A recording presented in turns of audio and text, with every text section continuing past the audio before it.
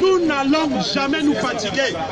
Et je tenais à vous dire, si par aventure, M. Paul Biya se maintient au pouvoir, nous allons rendre le Cameroun ingouvernable. Parole de commissaire de police. Nous allons rendre le Cameroun ingouvernable.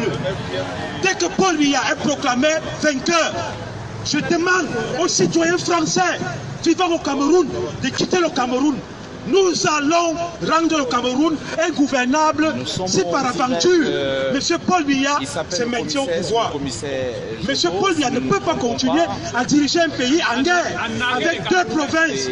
Au moment où nous vous parlons, les deux provinces anglophones camerounaises sont en guerre.